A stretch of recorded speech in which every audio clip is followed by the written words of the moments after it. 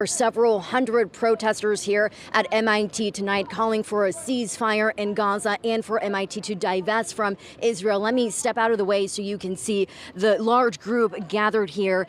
MIT, Cambridge, Boston, and state police are surrounding this protest, but so far it has remained peaceful. Now, about an hour ago, a group of protesters that are now here made their way down Mass Ave, Sky 5 capturing that group standing in the middle of the intersection before making their way onto campus. Police began shutting down the intersection of Mass Ave and Amherst for safety. It has since reopened. Now, on the grounds here at MIT, some are protesting uh, students that they began setting up additional tents here in an effort to extend the encampment.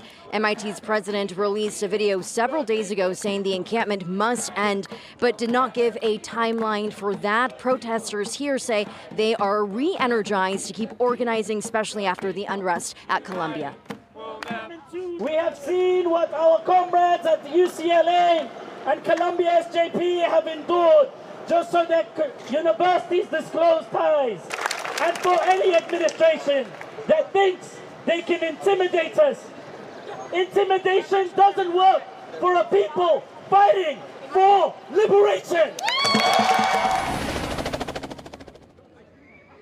A couple hours ago, Sky 5 also capturing Emerson students protesting around Boston Common and along the public alley where they had an encampment set up before police shut that down and arrested more than 100 student protesters. Now out here again live at MIT. This protest has remained peaceful. Again, there is a heavy police presence. We're going to continue monitoring this protest tonight.